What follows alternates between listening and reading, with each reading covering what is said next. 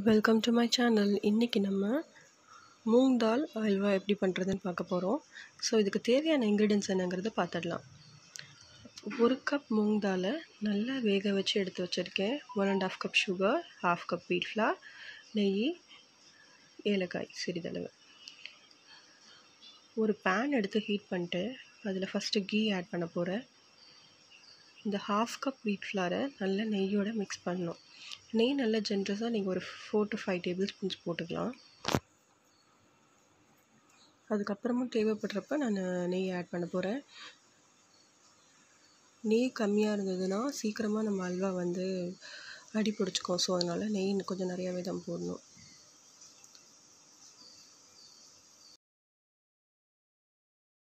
மற்ற இன்க்ரீடியன்ஸ் எல்லாமே ஒன்று ஒன்றா ஆட் பண்ண ஆரம்பிக்கலாம். ஆனால் இது கோதுமை மாவு நெய்யோடு நல்லா கலந்துக்கணும். இப்போ நெய் பத்தலை நான் இன்னும் கொஞ்சம் எக்ஸ்ட்ரா ஆட் பண்ணிக்க போகிறேன்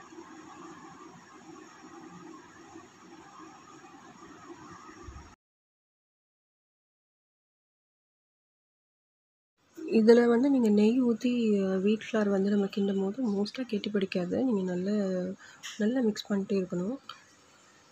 எந்த லம்ஸும் இல்லாமல் நீங்கள் நல்லா அதை மிக்ஸ் பண்ணணும். குக்கர் பல்வா நிறைய மாடல்ஸில் பண்ணுவாங்க அசோகா அல்வான்னு சொல்லுவாங்க. ஸோ ஒன்று வந்து நம்ம குக்கரில் இந்த பாசிப்பருப்பை நல்லா மசிய வேக விட்டுட்டு அதுக்கப்புறமா அது நல்லா இன்னும் கொஞ்சம் கூட நல்லா வெந்ததுக்கப்புறமா எடுத்து கலந்துக்கலாம்.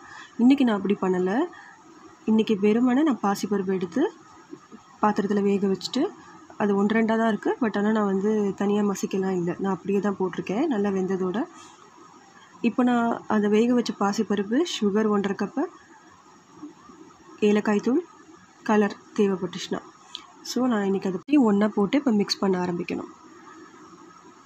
அடி பிடிச்சிடாமல் நல்லா மிக்ஸ் பண்ணிட்டே இருக்கணும். இன்க்ரீடியன்ஸும் ஒன்றோட ஒன்று பிளெண்ட் ஆகணும். ஸோ மிக்ஸ் பண்ணிட்டே இருக்கணும். நீங்கள் பார்த்தீங்கன்னா தெரியும் நான் பாசிப்பருப்பு வந்து நல்லா மசிக்கலாம் இல்லை வேக வச்சு நான் அப்படியே தான் கலந்துருக்கேன் இதில். நம்ம நம்ம பண்ணிட்டு இருக்கிறதுலையே அது கொஞ்சம் நல்லா மசிஞ்சிடும் ஸோ அதனால் நான் எக்ஸ்ட்ராவாக தனியாக பிளெண்ட் பண்ணலாம். இல்லை நான் அதை. தேவைப்பட்டால் எக்ஸ்ட்ரா கீ ஆட் பண்ணிக்கலாம். இதோட கன்சிஸ்டன்சி எப்படி நீங்கள் தெரிஞ்சுக்கலான்னா இப்போ வந்து அந்த பேன் அண்ட் அந்த அந்த கரண்டி ரெண்டுலேயுமே வந்து ஒட்டக்கூடாது. அல்வா வந்து ஒட்டவே கூடாது. அதே மாதிரி நம்ம அதில் ஊற்றிருக்கிற நெய்யெல்லாம் வெளியே வரணும். ஸோ அதுதான் கரெக்டான பக்குவம். ஸோ அந்த மாதிரி ஸ்டேஜ் வர வரைக்கும் நம்ம இதை கிளறிட்டே இருக்கணும். கீழே அடிபடிச்சிடாமல் கிளறணும். பேன்லேயும் ஒட்டலை என்னோடய கரண்டிலையுமே அல்வா ஒட்டலை. ஸோ இது வந்து இந்த கன்சிஸ்டன்சி வந்தால் தான் நமக்கு வந்து அல்வா ரெடி ஆகிடுச்சு அப்படின்னு அர்த்தம். தேவைப்பட்டால் நீங்கள் கீ எக்ஸ்ட்ரா ஊற்றிக்கலாம் பேனோட சைடில் எனக்கு நான் ஊற்றின கீலாம் வந்து வெளியில் வர ஆரம்பிக்குது. ஸோ குக் ஆகிடுச்சின்னு அர்த்தம். தேவைப்பட்டால் உங்களுக்கு என்ன ட்ரை ஃப்ரூட்ஸ் தேவைப்படுதோ நீங்கள் இந்த அல்வாவில் ஆட் பண்ணிக்கலாம்.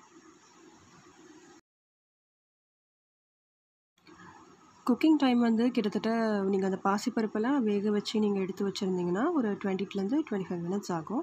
நீங்கள் எந்த அளவுக்கு நீங்கள் கை எடுக்காமல் நீங்கள் அதை மிக்ஸ் பண்ணிட்டே இருக்கீங்களோ அதுக்கு தகுந்த மாதிரி அடிப்பிடிக்காமல் வரும்.